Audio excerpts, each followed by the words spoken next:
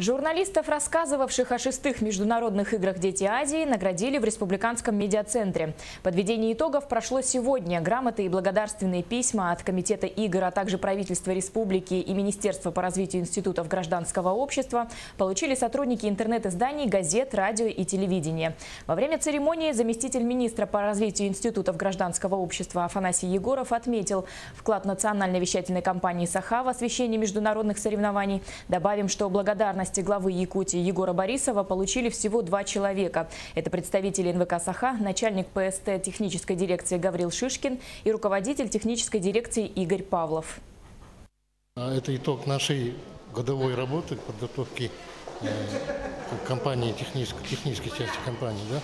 И считаю, что это не только моя, это награда, награда всей э, нашей дирекции, всех работников, всех э, инженеров, всех электромехаников и тех, кто, всех, кто нам помогал.